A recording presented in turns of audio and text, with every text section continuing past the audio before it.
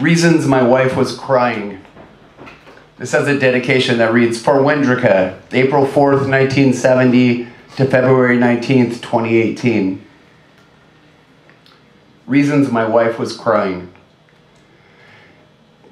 Because Brenda told her how when she was a little girl, her mother dropped her off at the bus stop and said, When the bus comes, don't get on it. Because Judah Bauer is the best goddamn guitar player ever to bend a string, and nobody wants to talk about it. Because everything is so loud. Because it's too quiet.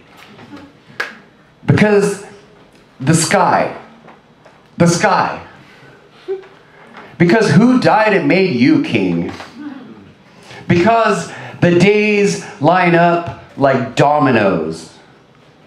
Because all the hopeful Aprils arriving just in time on swept back wings. Because a dozen dead cats. Because gay penguins. Because I fed a pork sausage to a pig at Sunset Junction. True story. Because she caught me watching her dancing alone in a darkened kitchen, humming the Velvet Underground's Beginning to See the Light. Because that one poem by, what's her name? Because I offered to help her find her marbles. Because I let those girls splash around in the shallow end of my heart. Because she missed my mom more than she missed her mom. Hmm. Because she dreamed of something yellow swallowing her whole. Because, and I quote, you're emotionally distraught and it scares me.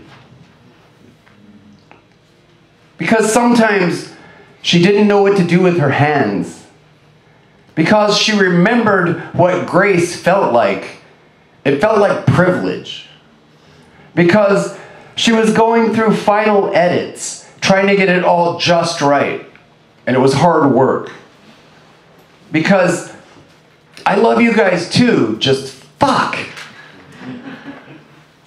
Because grandkid blanket fort picnics because I made her that little sculpture thing, because Sue gave her a rhinestone tiara, because Tyler winked at her, because Ashley's laughter, because Murray's hugs, because Jennifer dug that frog she gave her, because Tina died too soon, because Eddie died too soon, because I told her I was going to write a poem called Reasons My Wife is Crying.